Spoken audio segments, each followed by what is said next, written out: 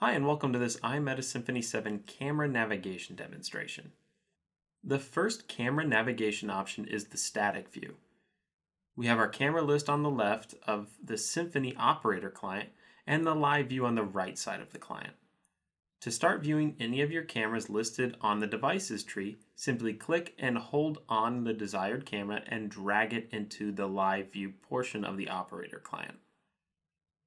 If you were to have a large list of cameras, you can start grouping them within the devices tree and right click on the group and select New Camera View.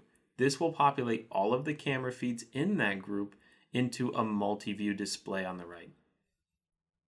If you were searching for one particular camera from a long list of devices, use the search bar above the devices tree to start typing in the camera name. In this example, I know the camera I'm looking for has a 25 in its name and I search for that query.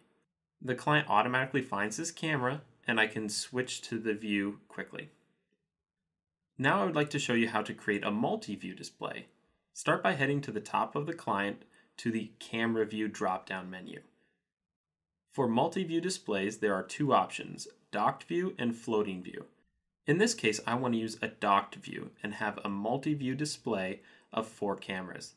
This means four docked panels will appear in the operator UI. The four panels are currently blank as no cameras have been selected yet.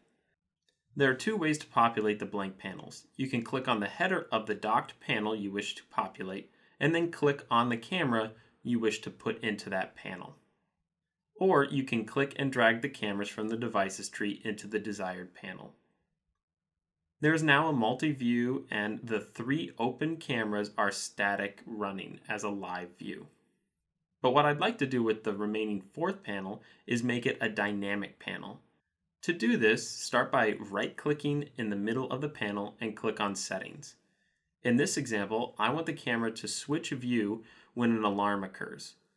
You can find this option by clicking on the Activity tab at the top of the camera view settings.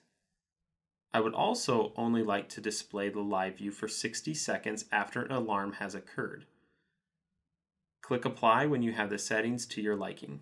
You can see that the fourth panel is waiting for an event to trigger the live feed and will remain blank until an alarm is triggered. You can also set the feed to switch view when motion occurs. This is an excellent option for monitoring large environments when you only want to see camera feeds where motion is taking place. As you can see, the camera feed has switched on because motion has been detected on one of the cameras. You can see the motion by the green boxes within the camera feed.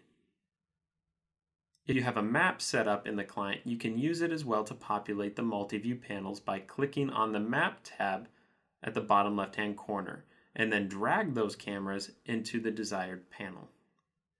If you don't have a map set up on your operator client, you can head to the top of the client and then click the Settings drop-down menu. Then select Map Navigation. The map navigation will populate above the devices tree.